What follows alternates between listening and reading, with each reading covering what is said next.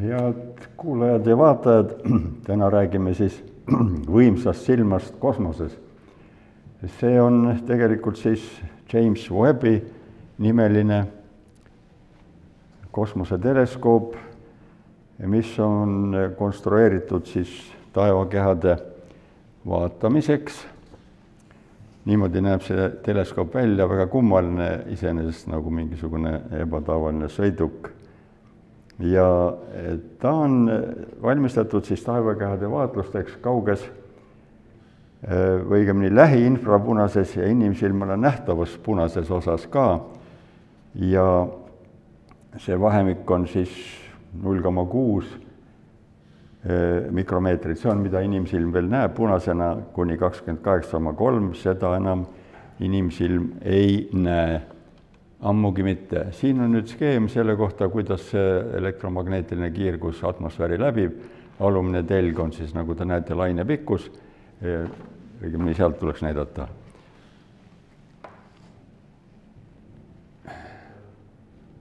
mis on see? aa, midagi on, oi nüüd läks päris lõppu välja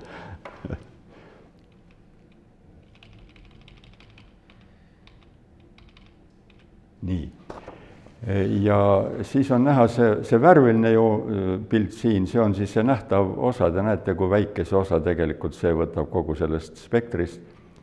ja, ja siis me näeme siin, et raadiolainetele, mis on üsna pikad, kümnest sentimeetrist kuni kümne meetrini, siin on täielik läbipaistvus.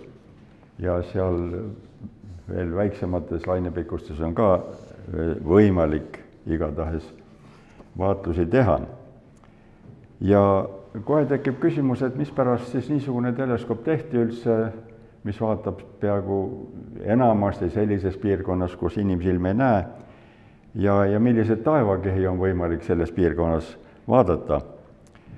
ja vastus on selline, et arvati ikkagi vanasti, et, et see maailmaruum on täis siis tähti ja galaktikaid ja ja veel üht-teist, aga üldiselt ta peaks olema puhas, et ei tolmu ega midagi sellist ei ole.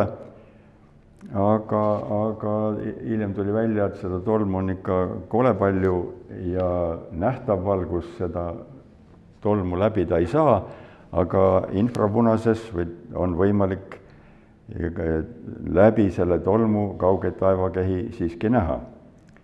ja nende eksoplaneetide kiirgus on ka enamasti infrapunases, nii et sellega loodeti siis, kuidas öelda, võimalik, et osutub võimalikuks tabada nii-öelda kaugeid noh, kas just sugulasi, aga, aga mine sa tea. ja see Webbi teleskoop võib muidugi vaadelda ka päiksesüsteemi objekte, aga siin on see vaateväli suhteliselt piiratud ja kohe me näeme, miks see niimoodi on ja mis võib veel siis üldiselt selle teleskoobi kohta öelda, on see, et seda ehitamist juhatas NASA, ameeriklaste kosmoseorganisatsioon, aga ta ei olnud selles sugugi üksi.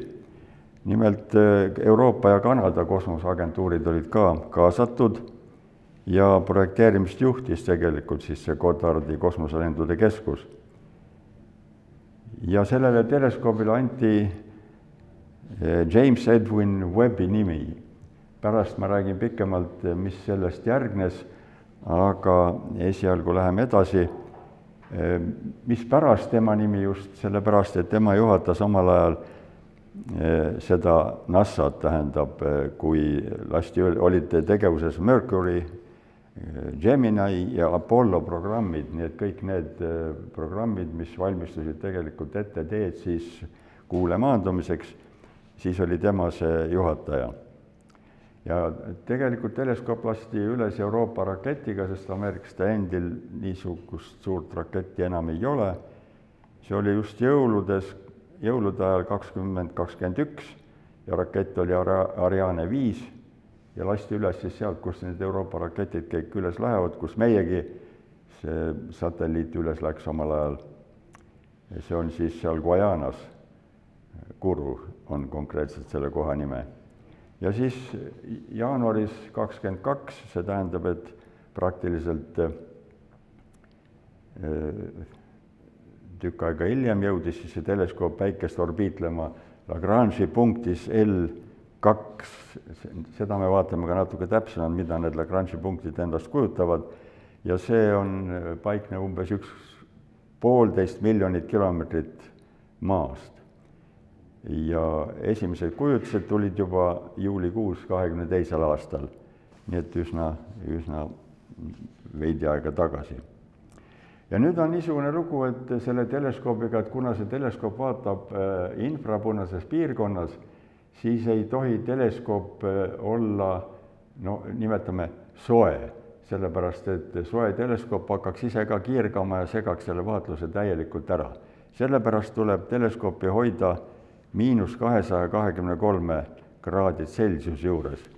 Siis ainult ta ei sega enam, siis jääb see kiirgus niivõrd pikalaineliseks, et, et ja, ja nõrgaks, et see vaatlusi ei sega. ja siis on teleskoobil ka veel oluline osa, korraks lasen tagasi selle, näete, niisugune nagu vihmavari seal all, mille peal õieti see teleskoobi peegel siis paikneb, see on viiekihiline materjal, väga keeruline ja võrdlemisi hiljuti alles noh, kasutusele võetud ja see hoiab ära siis selle teleskoobi soojenemise päikese, maa ja kuu, isegi kuu kiirguse tõttu. ja teleskoobi valmimise lugu on tüüpiline suurte projektide lugu. arvati, et me saame teleskoobi üles saata kahe tuhande seitsmendal aastal ühe miljardi Ameerika dollari eest. võtan näpust.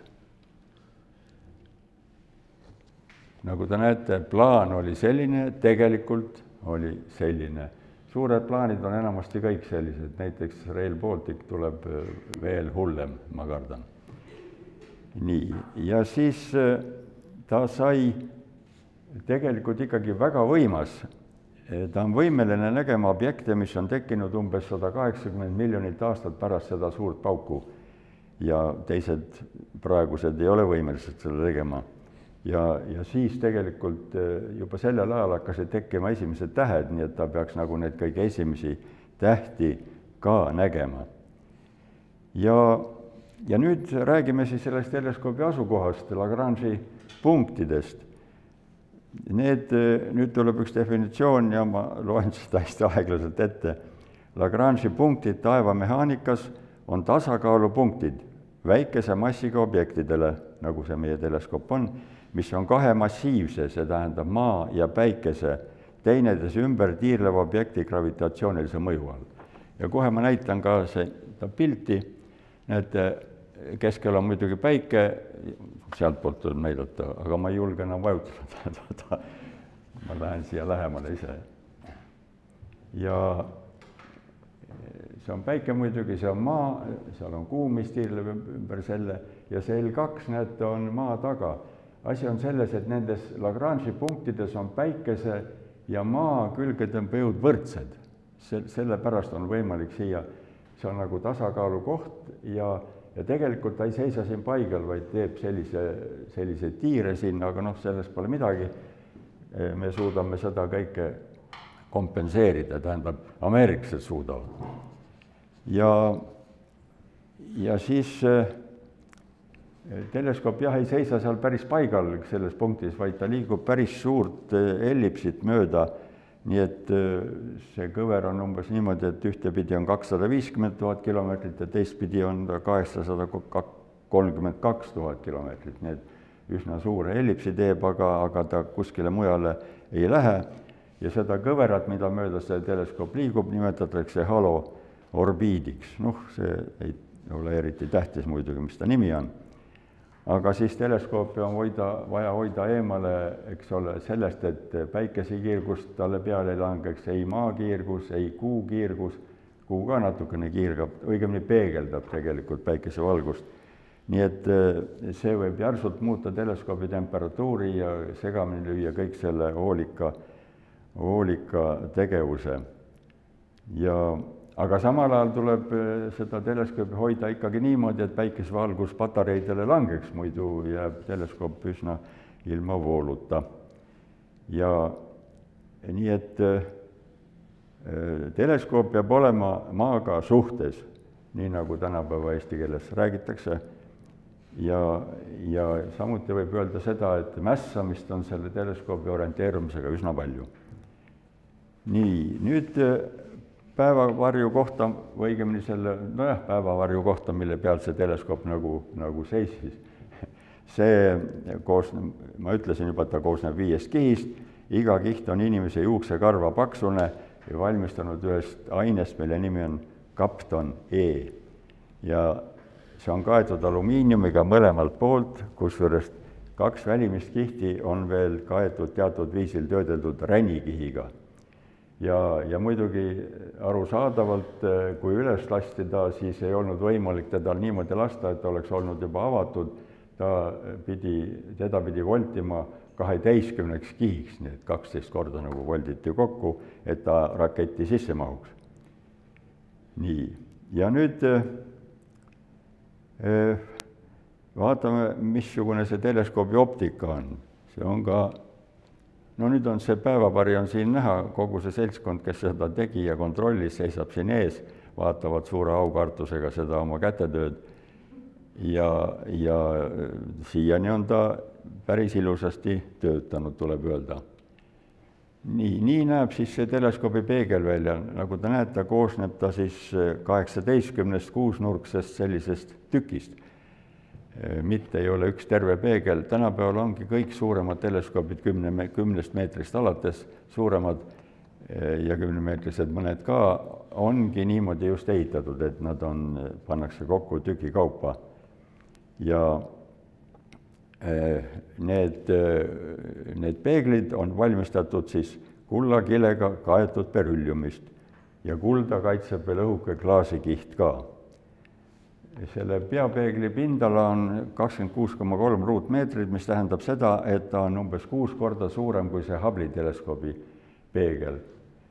mis tähendab seda, et ta on võimeline vaatama ka palju nõrgemaid taevakehi, ma mõtlen kiirguse mõttes nõrgemaid, kui, kui siis see Hubble'i teleskoop suudab.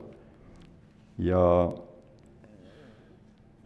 ja see, et ta nii, niisugune segmentides koosneb, on, see on ühe Itaalia, Itaalia astronoomi välja mõeldud skeem, tema nimi oli Guido Horn d'Arturo ja, ja tegelikult on lugu ka niimoodi, et eh, noh, et kui meil teleskoop asub maa peal, siis on see eh, atmosfäär vahel ja atmosfäär kogu aeg liigub, erinevad temperatuurid on, mistõttu see lainefront, mis tuleb, ei ole, ole selline ta-, tasane vaid äh, selline kõver pind.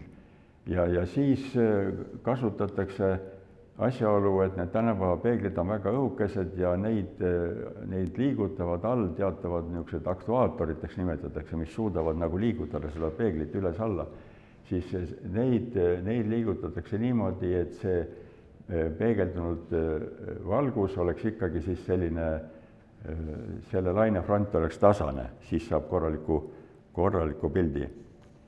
ja, ja selleks, et äh, selle, selle webiteleskoobi juures seda faasi, nagu öeldakse, õigeks teha, selleks on siis sada kolmkümmend kaks väikeste elektrimootoritega varustatud liigutajat või aktuaatorit, nagu ma ütlesin, ja neid saab äh, positsioneerida kümne nanomeetri täpsusega, nii et, nii et ikka arvestades seda, et üks nanomeeter on miljondik millimeetrit, siis see on ikkagi üsna täpne töö. ja veel võib öelda, et sellel peeglil puuduvad igasugused optilised aberratsioonid, tähendab kujutis, mis, mida see peegel annab, on täpselt identne selle, selle objektiga, mida ta vaatab, et ja seal ei ole mingisugused niimoodi välja venitatud või, või ühtepidi või teistpidi või või tont teab, mida veel kujutisega ette võetud. nii et see on kõik korras. nüüd äh, räägime ka teadusinstrumentidest, mis talle peale on pandud, küllalt lühidalt, mitte midagi pikka ei ole mõtet siin rääkida, aga neid on neli tükki, kusjuures üks nendest on ka siis selle teleskoobi, nagu ma ütlesin, selle kujutise äh, tasa, tasaseks tegija, kasutatakse seda NIRCAM-i ka selleks see NIRCam on siis lähiinfrapunane, eks ole, ta pildistab ka lainepikkuste vahemikus null koma kuus kuni viis mikromeetrit, nii et üks ots on nähtavas piirkonnas. Ja, ja siis järgmine on see kummalised nimed, NIRSPEC, lähiinfrapunane ja see annab spektri tegelikult see, mitte pildi, nagu see NIRCam teeb. Ja selle, nagu te nägite, tegid eurooplased. Nii et said ikka midagi valmis ka. ja siis äh, Miri on mis mõõdab, kõõdab. ma ise kogu aeg kritiseerin Postimehest, et seal igas lehes on mitu tükki viga, nüüd ütlen ise ka siin. kiirgust vahemikus viis kuni kakskümmend seitse mikromeetrit, see on siis puhas juba infrapunane, seda inimsilmaga ei näe, ja see on siis nagu kaamera, tähendab, temaga saab nii pilti kui ka spektrume, spektrit. see on väga oluline riist ja siis see kolmas, mille nime ma parem lugema ei hakka, see on siis see peenjuhtimise sensor ja lähiinfrapunase, see on siis selle nähtava infrapunase kujutise moodustaja ja samuti ka pilutospektrograaf, nii et saadakse nii, praktiliselt peaaegu kõikidega saadakse pilt ja ka spekter. nii, nüüd kui me selle oleme läbi vaadanud, siis läheme edasi ja, ja näitan veel korraks, mismoodi näeb välja üks nendest äh, riistadest, see on siis äh, nirspekk, nii, niimoodi paistab, no jah, kaunis, kaunis, kaunis keeruline pilt. Aga midagi muidugi tarkamat tema kohta öelda ei oska. nii nüüd eh, vot see kast siis seal, mis selle, selle kollaka kile taga on, see on teenindusmoodul. see on tegelikult siis selle, kui me vaatame, võtame nüüd selle, selle vihmavarju, nimetame ta vihmavarjuks, siis vihmavarju peal oli siis teleskoop ise ja vihmavarju all oli see teenindusmoodul. nii et teenindusmoodul oli kogu aeg ikkagi, no mitte kogu aeg, aga, aga päikese käes. Tema, tema peale paistis. Ja see on siis mingisugusest grafiitkomposiidist valmistatud kast, noh, graf-, grafiitkomposiitis näiteks on vormel ühe autode kere tehtud ka, nii et äh, see ei olnud mingisugune eriline, eriline keeruline tegevus ja seal sees on arvutid nii sideks kui ka siis vaatluste töötlemiseks, vooluallikad, rakettmootorid ja igasugused veel niinimetatud strukturaalsed komponendid. ja see moodul töötab temperatuuril kakskümmend seitse kraadi, nii et paras niisugune suve, suveilma temperatuuril. mass on kolmsada viiskümmend kilo ja ta peab hoidma töös siis teleskoopi, mis kaalub kuus koma kaks tonni.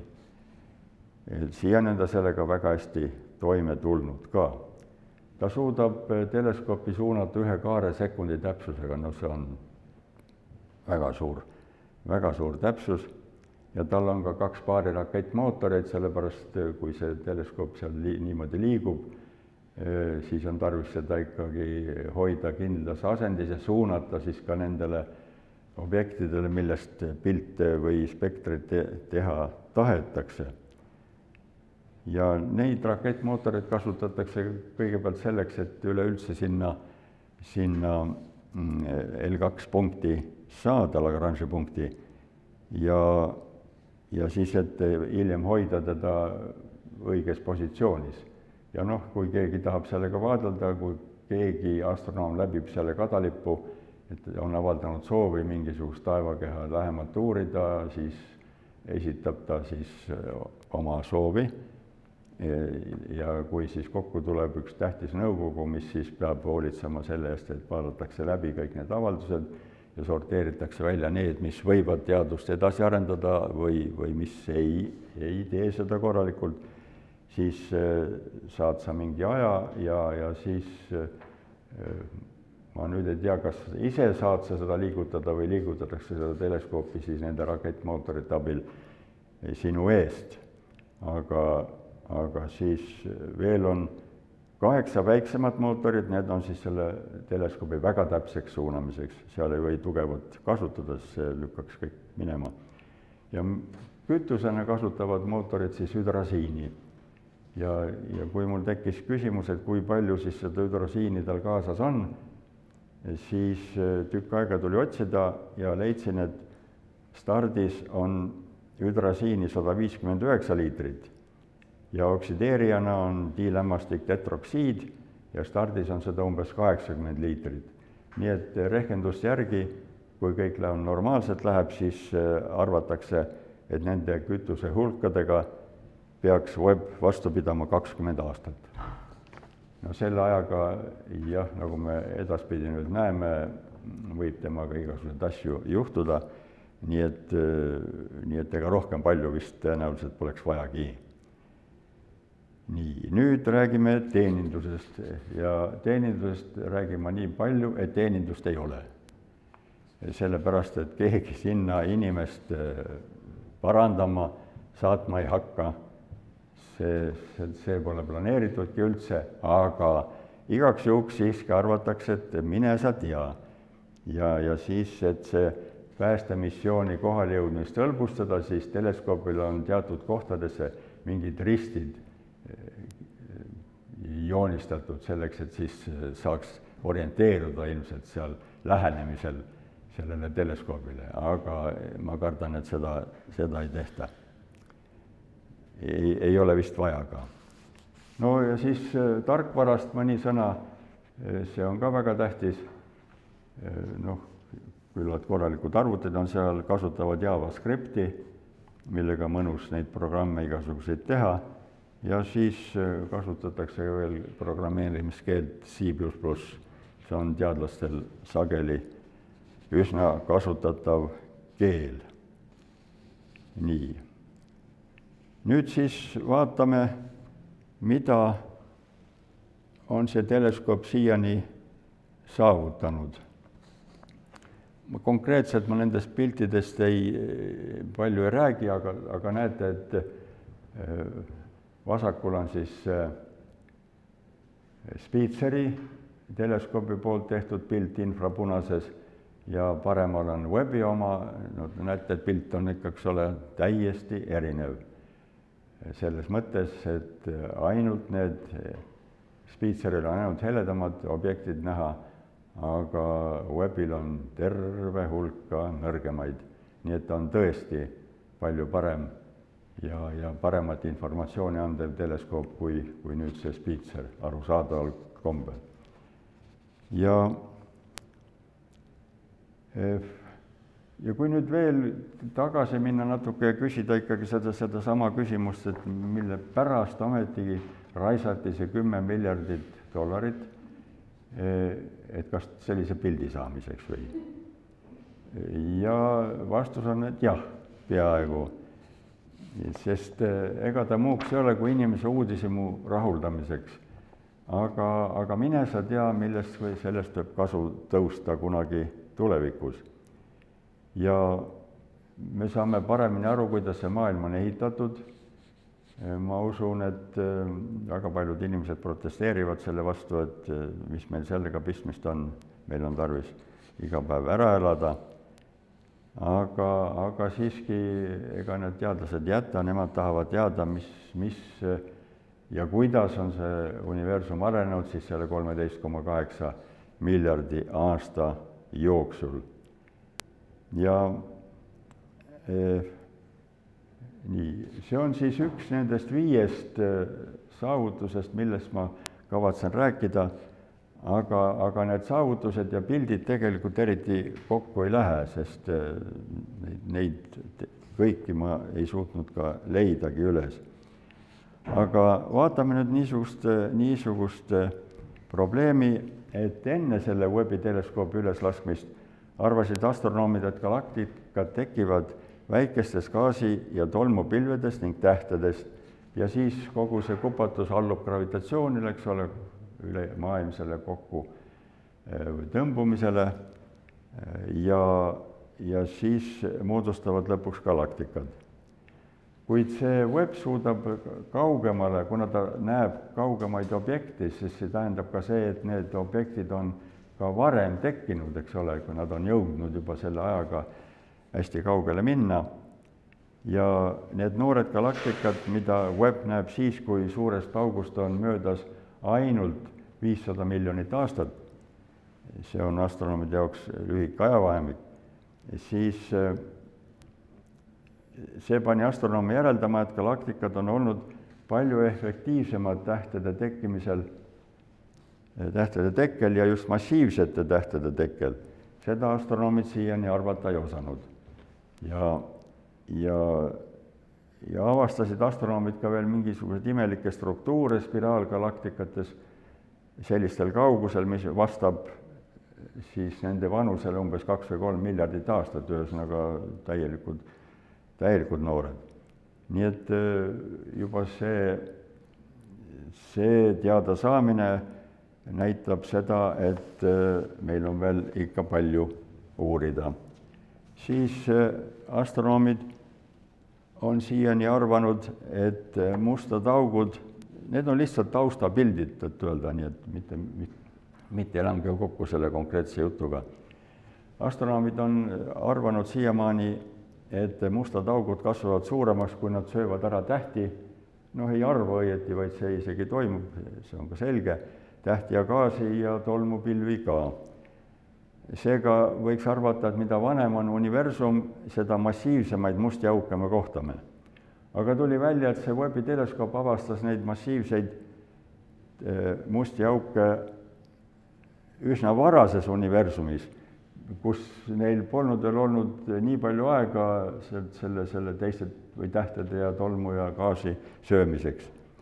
ja, ja nii näiteks Webbi teleskoop tegi kindlaks eh, musti auke massiga miljard päikesemassi, see on kaunis tavalised, need, need ei olegi midagi nii hirmsat, aga noh, astronoomid enam ei, ei, neil ei tõuse enam juuksed peas püsti, kui nad niisuguseid arve loevad Äh, ja see vastab universumi vanusele umbes kaheksasada miljonit aastat. et kui me seda võrdleksime inimese vanusega nüüd seda universumit, siis äh, ütleme, et inimene on üheksakümne aastaseks saanud, siis nende mustade aukudega võrreldaval ajal oleks inimene umbes viieaastane, nii et äh, üsna, üsna elu alguses on siis ka needsamad mustad augud.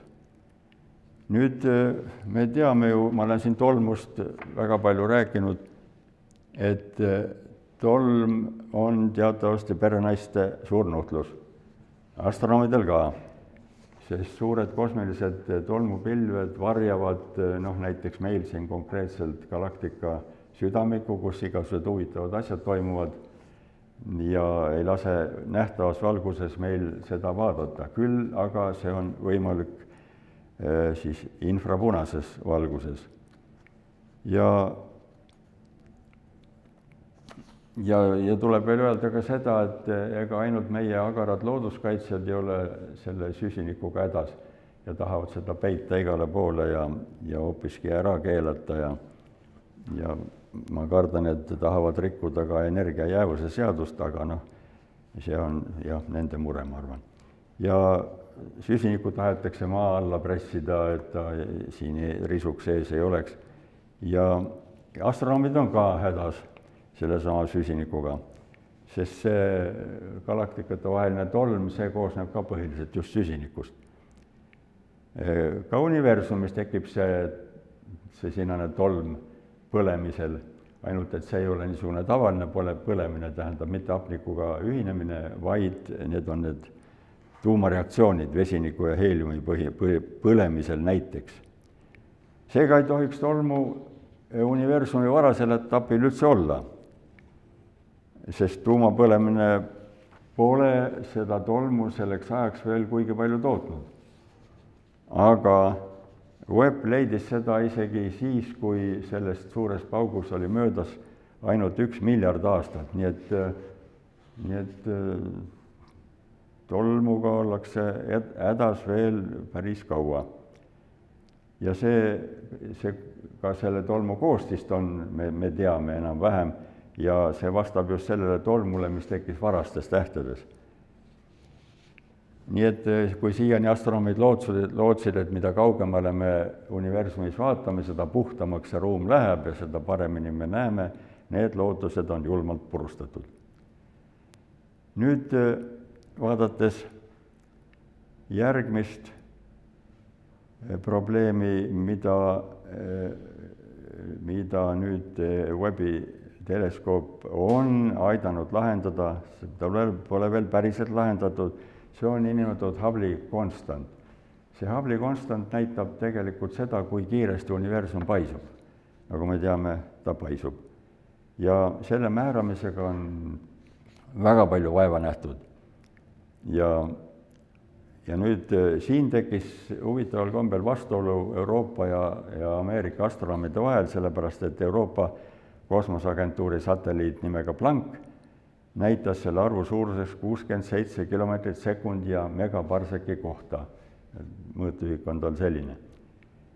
aga kui Hubble'i teleskoobiga vaadati seda asja ja kontrolliti, siis sel arvu suuruseks saadi seitsekümmend kolm kilomeetrit sekundis megaparseki kohta.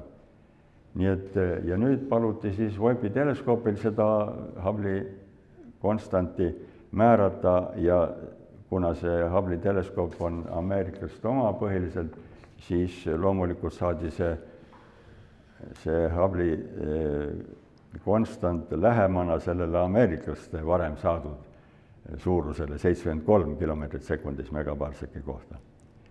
miks see nii on, nii on, seda keegi ei tea, praegu suur vaidlus käib igatahes üle Atlandi ookeani siiamaani. ja ja siis äh, veel see viimane asi, mida äh, on aidanud Webbi teleskoop lahendada, mitte küll viimane, vaid minu ettekandes viimane, on, äh, on see, et teatavasti tähed tekivad gaasi- ja tolmupilvedes, mis, mis on iseenesest kurb, nad oleks võinud lihtsalt gaasis tekkida, siis me oleksime seda protsessi paremini näinud, aga kui tolm ka mängus on, siis see tähendab, et me seda tähtede tekkimise protsessi korralikult jälgida ei saa.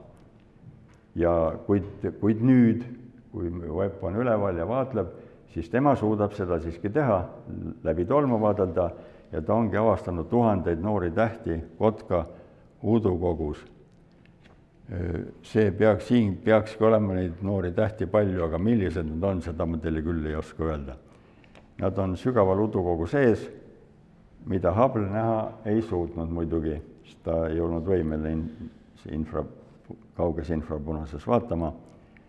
ja siis seal maakandja kompleksis, eh, tähtkuju maakandja kompleksis on avastatud kümneid noori tähti ja ainejugasid, mis neist väljuvad ja valgustavad ümbrust, nii et äh, siin on veel palju tegemist Nonii, nüüd äh, jätame selle teaduse selleks korraks maha ja läheme Webbi teleskoobi nime kallale.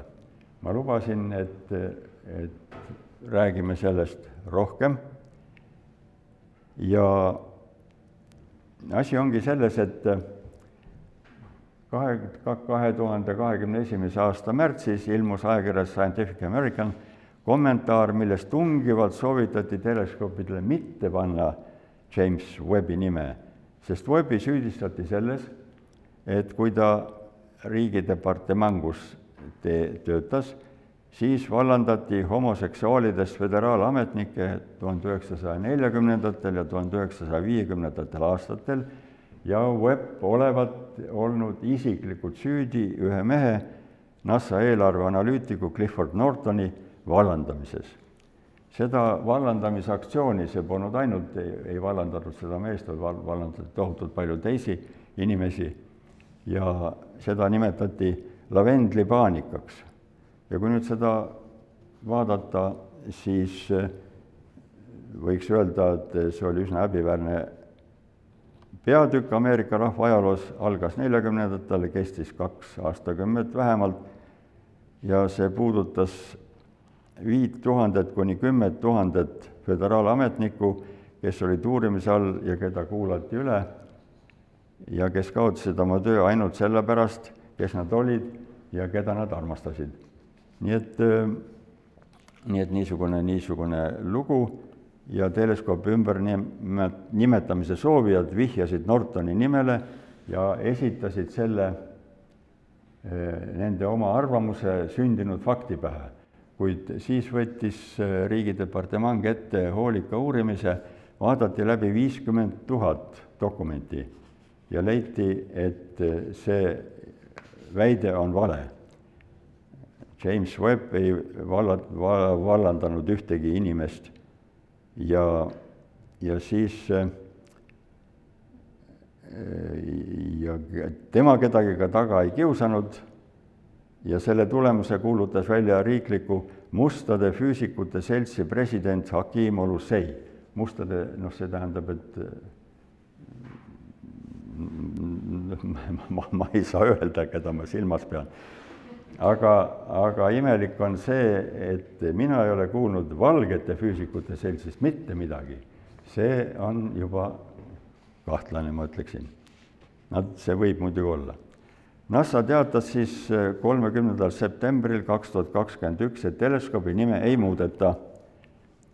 ja äh, siis oktoobrikuus kaks tuhat kakskümmend kaks ärkas ka Kuninglik Astronoomia Selts, kes oli väitnud, et nemad ei kasuta teleskoobi nime, Webbi nime äh, enne, kui uurimine pole lõpetatud ja tulemus avalikustatud ja, ja kui need viiskümmend tuhat dokumenti olid läbi uuritud ja mingit märki ei leitud, et Webb poleks süüdi olnud, alles siis võtsid inglased oma ähvarduse tagasi.